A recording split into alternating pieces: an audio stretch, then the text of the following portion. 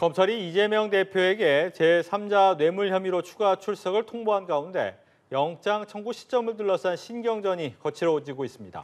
민주당은 검찰을 향해 체포동의안 표결이 필요 없도록 비회기 중에 영장을 청구하라 재차 촉구했지만 한동훈 법무부 장관은 즉각 되받아쳤습니다. 장윤희 기자입니다.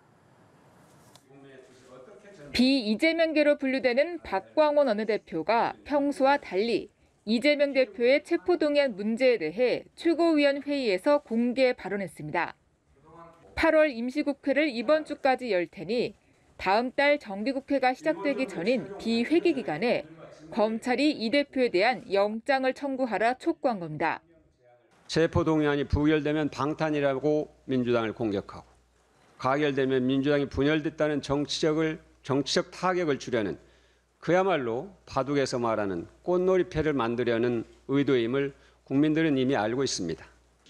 박 원내대표의 이러한 발언엔 체포동의안 표결 결과가 어떻게 나오든 당이 극심한 내홍에 빠질 수 있다는 우려가 반영된 것으로 보입니다.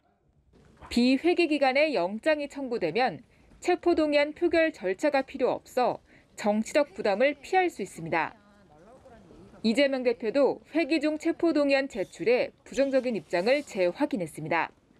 이게 대체 말이 되는 소리라고 생각이 되신, 되시나요? 하지만 국회를 찾은 한동훈 장관은 박 원내대표의 꽃놀이패 의도를 비롯한 민주당의 공세에 즉각 맞받았습니다.